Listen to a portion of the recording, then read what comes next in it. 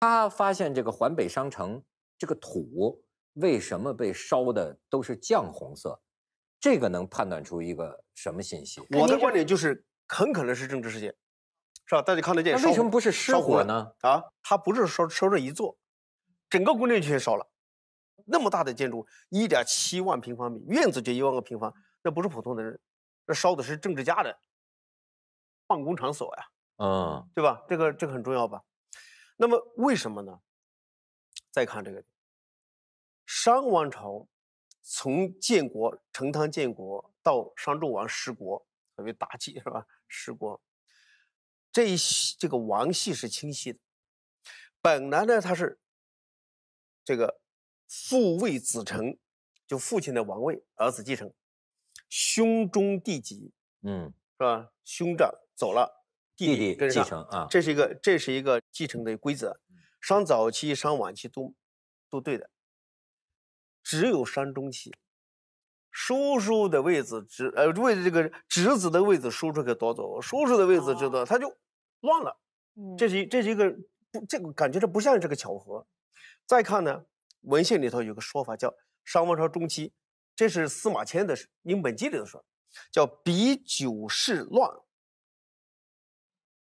就是相，就是商王朝中期的时候，他这个王位传承就是乱的，刚好这个商中期，刚好是商中期，而且还你想想，如果是一场火烧掉以后，他有可能还要重建吧？对，这个居然没有重建，哦，所有种种现象加到一起，我宁肯相信是政治事件，王位传承造成。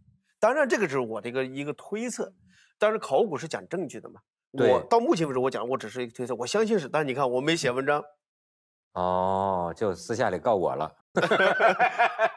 哎，但是你这样让我们对这个商朝啊，你说商朝人是一种什么人？比如说有一点像刚才说的，就商朝人爱杀人，杀人祭祀是个正常现象。是，但是为什么孔子说，嗯，郁郁乎文哉吾从周，他为什么要负周礼？他不负殷礼？嗯，你说明殷周有巨大的差别。对，当然我要我是要叫应该叫商周，商周是吧？啊，那有巨大的差别。因为说商人他是杀人的，他真不把人当人。你想想这个王王陵区，这么多人杀的呢，十个十个一组。那商周人数学好的很，那石敬制数学好的非常非常非常好。你看刚才这房子的台阶，台阶之间的距离是大概是相等的，说明他量过呀。那抽走那个铜毛，是十个十个一捆呢，十进制没问题啊。嗯，你看那甲骨文数字很好，但是上称是杀人，他是生僻的他什么哪种情况下杀人？是干什么事儿杀人？重要的事情，重要的场合，所有的仪式里都要杀一下人。最少是杀狗，但是隆重的都要杀人。所以你看，我们挖我们挖墓的时候哈，你看。我们就自己挖墓，像我挖过很多，带着我的考古队，我挖，我可是干过很多这样的这个，按照传统的说法是不好的刨坟掘墓啊。但是呢，但是呢，我看的时候，我看见只要是这个墓是商代的，规格高，基本上都要杀人，殉葬人，杀人杀到杀到里头。如果是西周时候的，这个现象就基本不见了。有人甚至把它当成一个判断商墓还是周墓的标准。说这个墓，你看商墓中是搞不清了。说里边有殉殉葬人，商代的；里边没有殉葬人，西周的。你说他们杀的是什么人呢？杀的人呢？我们做过一些研究。呃，其实甲骨文也有记录。甲骨文里的记录呢，一般我们现在整理过哈，杀的最多的是羌。嗯，羌，羌羌族，羌人，羌人。呃，许慎讲法叫羌西域牧羊人也。是他们的敌人，就是商王朝在河以河南为中心嘛，嗯，在东边，西域牧人在哪？那是陕西那边呢，陕西甘肃那边嘛，就杀的主要杀的那那边的，这是甲骨文里头啊，当然还有其他的。那么除了甲骨文之外呢，我们还做过很多研究，比方说用那个同位素，这个同位素有个有有一个特点，就是它可以示宗。你比方说这个这个像像我，我是湖南人，是吧？我从小呃，在我在湘赣边界长大，嗯。那么我喝的水是湘赣边界的，对。那么我的骨头里的，以及我牙齿珐琅质里头的锶同位素是当地的一个记忆。对对对。但是后来我到北大上学，我在北京读书，在北京生活，逐渐逐渐的，我的骨头里的同位素就变成了北京本地的了啊。但是我牙齿里头的珐琅质里的同位素是不变的，是永永永远是这样的，就是说牙齿跟骨头的这个这个同位素的水平。就能记录你到底在哪里，或者从哪里到到过哪里。嗯嗯。那么商朝的这个人骨头，我们做过同位素。我们现在做的结果哈，做了我们做了不少啊，都跟本地跟安阳本地的人不是不是一回事商朝人本身是河南这边的是吧？嗯。但是杀的人被杀的人，就是战俘吗？就是比方说。奴隶，甘肃东南部、陕西西部，甚至南部都有，但主要是那边的被他们抓来的外族，抓来的抓来的俘虏，俘虏哈，俘虏，杀鸡。你想想，还有还有把老把头给砍了，在盐里头去煮的。你怎么知道在盐里？我看见了。你看见你，桃子，你穿越了，你你看见的在盐里煮了。我看，我跟你说是这样的，这个是 最早的，我到安阳这个。这个概念，我去的时候，不，我去的时候啊，我就看见一个青铜眼里头有个人头，然后呢，到了九九年，我一同事挖墓，又挖一个眼，里面又有个人头，我都看见了。我说的是看见这个两两这两个人头在眼里头啊。然后呢，我说呀，我说这个就不是开玩笑了，眼里头个人，这眼是个正啊，对，他把人头砍在里头去蒸啊。这是个重要现象，我得研究啊。盐本来就是个蒸汽，中间有个篦子，底下放水，嗯，它可以烧火。但你不能靠这个就证明它是蒸过吗？我拿个拿个小镊子夹了一小片，嗯，然后把它一撅。你知道这个人骨头，因为我摸过的骨头很多了，不是刚才不是开玩笑说，我这个时候还拿过曹操呢，是吧？嗯。然后呢，我把这个我把这个小骨头片拿过来，把一撅，因为这个人头蒸过以后啊，撅开以后，它那个断茬是齐的。就基本上是齐的啊，哦，它蒸过嘛，酥了嘛，对对对。可是呢，如果是你要是新挖的人头，一个是很难撅断，再个一撅，它是个锯齿状的。哦，我们都在聊些什么？我 们考古学，这是这这是学术啊，对，这是学术问题。然后呢，这是一个，你看，要蒸过的话，它其实这个呃，没蒸过的，比方说它的一些成分会不一样，它会流失到一部分，比如钙流失啊什么的啊，对不对啊？这是这个研究。这问题是什么呢？他证明他蒸过相对比较容易，蒸的是谁？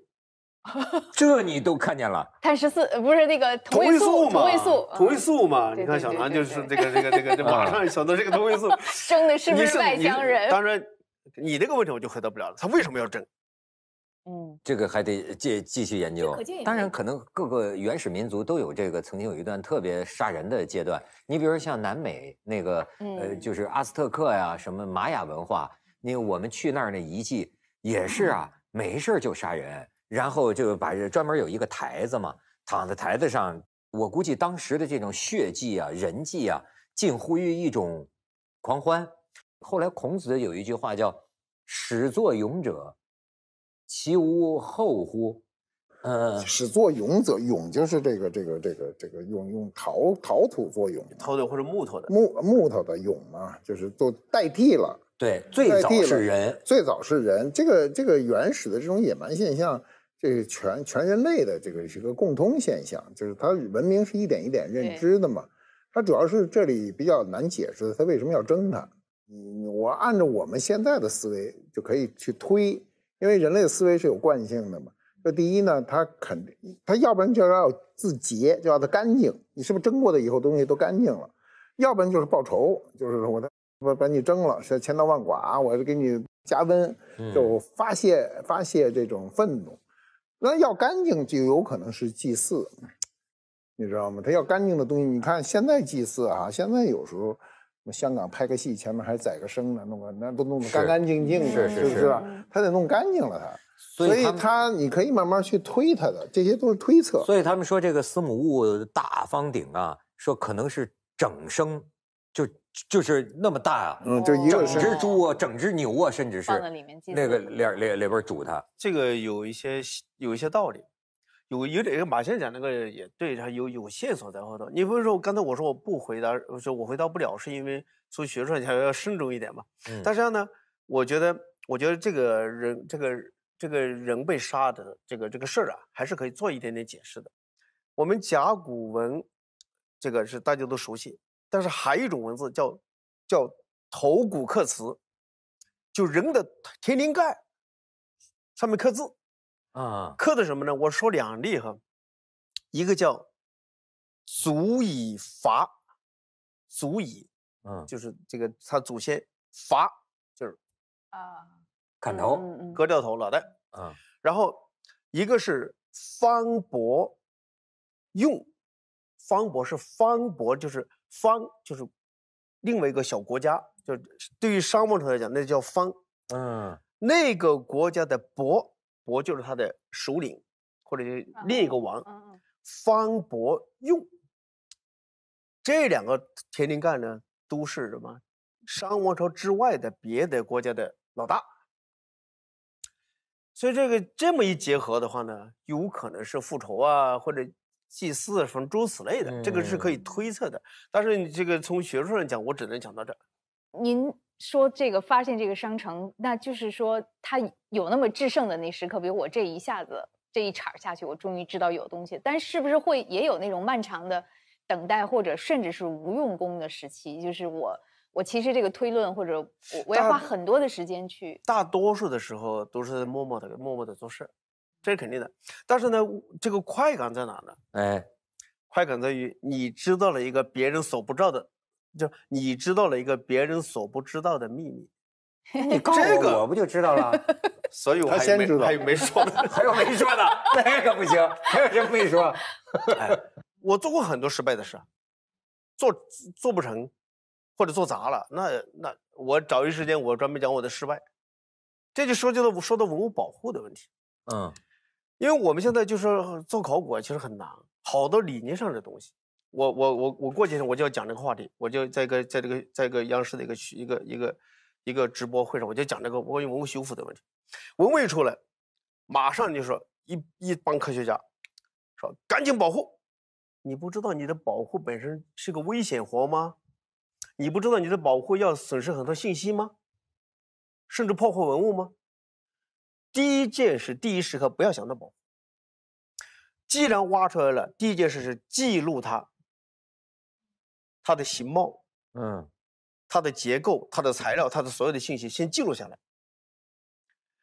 万一你在保护的过程中把它失掉了怎么办？这个是个，这个是个介质吧？毛笔的墨是另一个介质。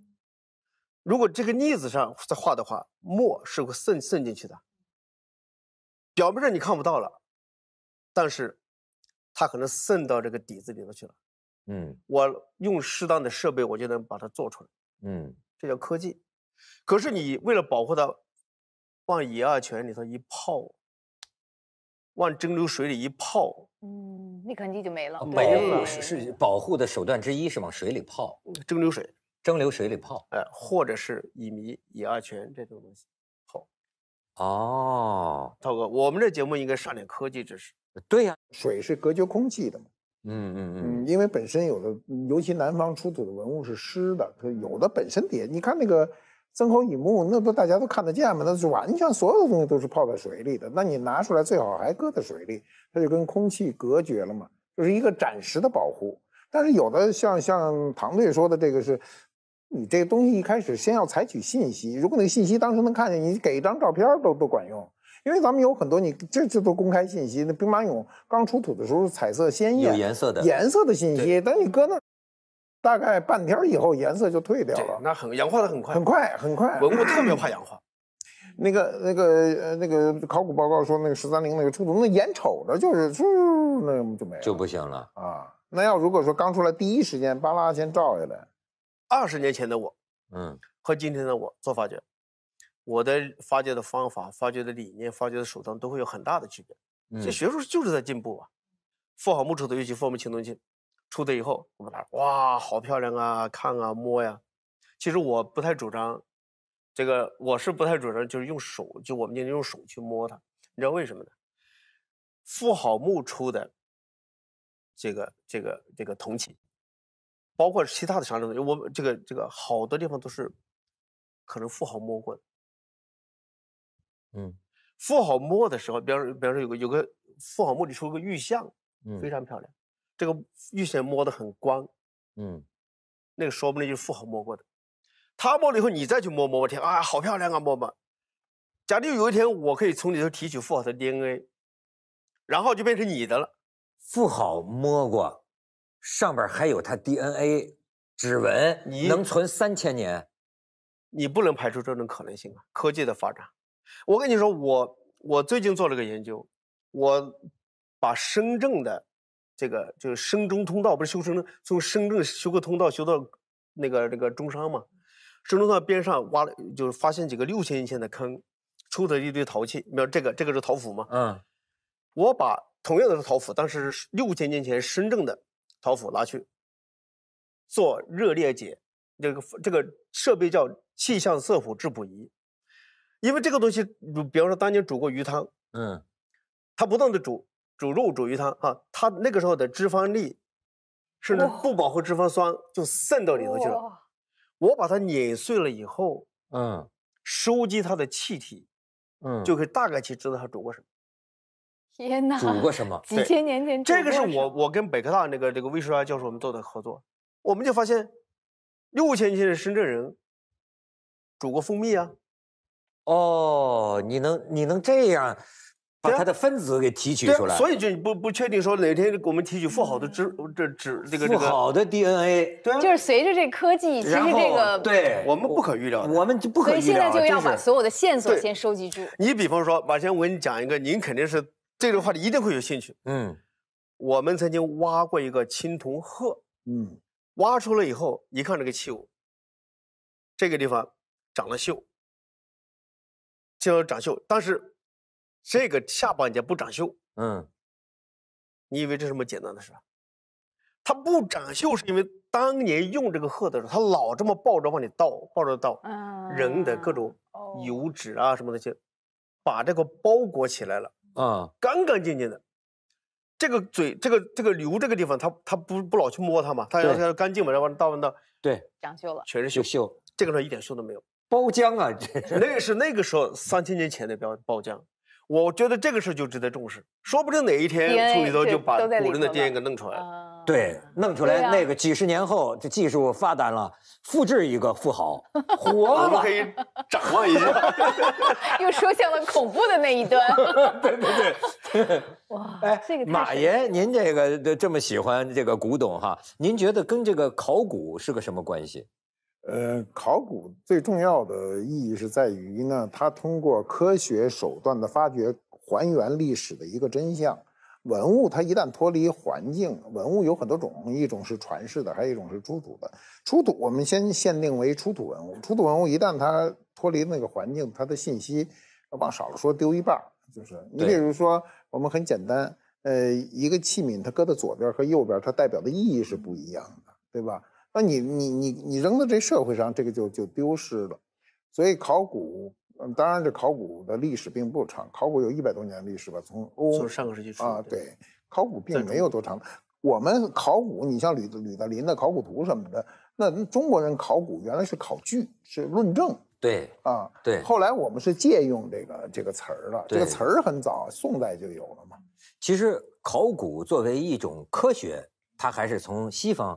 传入我国的，嗯，而且考古，呃，考古有一个就是你你听着唐队在这说的那么热火朝天的，其实它是一个很苦的过程。呃，小南就是一副一副就是看电影不不嫌事儿大的，老是说 什么惊险呐，什么刺激啊，他没那么惊险 和刺激，大部分时间是枯燥无味的。对了，我刚才就浓缩成现在是惊心动魄的。没有回答你那个问题，就是他没有那个惊。我跟你讲个例子，过去是交子是吧？就北宋呃宋代的交子。再往前，铜钱啊，铜钱，然后什么什么铜宝、五铢、半两。商代呢，海贝。对。但是有人说，海贝不见得是货币。你凭什么说是货币啊？然后呢，我就想着，哎呀，如果商代海海贝是钱的话，那么海贝在出土的现场一定有个数量关系，嗯，对不对？是三个一组还是五个一组啊？我就找了一百多座墓葬，然后我就去。数那个海贝之间这个部分是几颗，那个几颗数，你想一百多只木蛋，一个小纸包给它剥开，我鼓捣一个礼拜。我那时候我那时候我还比较胖，夏天天天在这搞，然后可是弄了两天以后，我的前任杨先生杨先生过来，你干什么呢？我说我看看那些海贝有数量关系没有，如果有计量关系才是钱，不没有计量关系是不是钱？人家是这个这个要要考虑一下。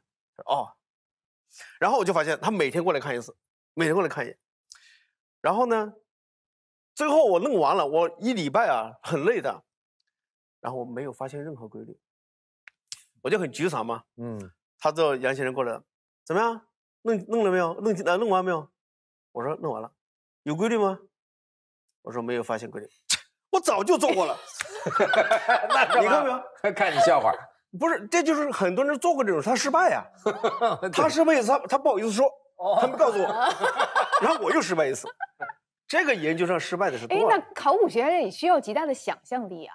就是说你，呃，这这个话题很有意思啊。就是说这个贝哈贝还是你现在还是应该是跟钱币有关的。是。对，没怎么会，它跟没关呢？但是有一部分要没关，我们整个文字全都要推翻。我是认为是钱币的，肯定是钱币。我们的好多文字都带贝字吗？啊，对，就是凡是跟贝有关的，一定是跟钱有关。还有连贼都带贝字。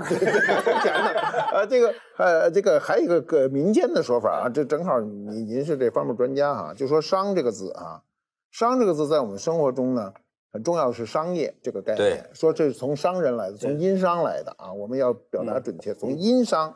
说殷商是中国最早商业的起源，就在之前的人没有商业概念，商业是交换嘛，是咱俩商量，我买东西，你说五块，我说十块的，这是商量的一个过程嘛。这个这个，起码民间也老有这么一个说法，就是说商业商人殷商的商人啊，商代人是商业的鼻祖，就是中国人的商业鼻祖，所以中国后来的商业全叫商，就这个意思。这这个说法，你说能成立吗？他他是这样的，所以贝币就在那个时期出现了。没有钱就没有商业。就是我们大多数的学者，包括我本人，我们都认为贝是那个时候的钱币。比方说，商末期的时候，有一个青铜鼎，很漂亮的一个鼎，很有名。郭沫若先生郭沫若呃，郭老亲自考证过那几个字的。那么这个鼎叫竖四字鼎。你有没有想到丙午王赏？数四子，被聂鹏，就是说，这个商王赏赐给庶四子被二十朋聂鹏吗？鹏鹏就是两吊嘛。对，然后他用这个贝，嗯，做了一个青铜器。你看看这个之间的转换关系在里头吗？这个贝啊，我们看的是海贝啊，因为为什么海贝能做钱呢？是因为呃商商殷商所在地方，它跟海没关系。他看不见这个东西。要如果说你都是海边的国家，谁都捡着都是钱，肯定不行。所以把海边的贝运到你这个内陆的国家的时候，显得很珍贵，它就变成一个钱的概念。它海贝是你到各博物馆都能看到哈。它当时有铜贝，有陶贝，都是一样的东西。那这个东西肯定是要有替代作用，就不仅仅是装饰可以解释的了，知道吧？所以你你你要注意啊，就因为钱币史是特别有意思的事儿。呃，理论上讲，商代的进步跟发就商业的推动，商业是推动社会文明最大的一个动力，它会让它迅速的运转起来。商商朝人是有没有证据表现出在商业方面非常厉害？呃，文献上就有，比如说这个这个王亥伏牛。然后我觉得最直接的证据呢，还是来自于秦东晋铭文。他往往就是伤亡赏赐贝多少，然后做了个统计。这个事情太直接了，赏钱，对，赏钱。还有一个，你看三星堆，三星堆的那个那那个海贝，他都装到那个青铜尊里头。我看了一下三星堆里头那个珍贵的东西，那都是都是祭品，